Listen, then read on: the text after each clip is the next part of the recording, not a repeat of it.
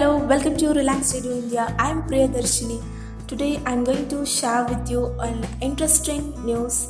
Yeah, that is uh, Huawei focusing on cloud business which still has access to US chips. In January, Huawei put the unit on an equal footing with its smartphones and telecoms equipment businesses. Chinese telecoms equipment maker Huawei Technology Co. Limited is focusing on its budding cloud business, which has still access to US chips despite sanctions against the company.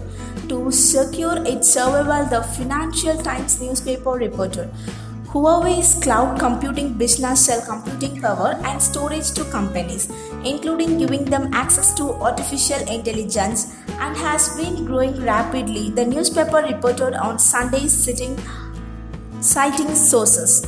In January, Huawei put the unit on an equal footing with its smartphones and telecoms equipment businesses.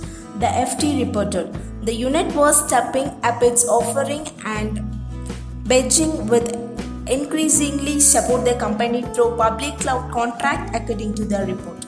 The administration of US President Donald Trump has restricted technology export to Chinese companies, in particular notably Huawei, citing national security risk and i think so this information is a very interesting one. And if you like this video uh, please uh, share this video and like this video. Don't forget to subscribe.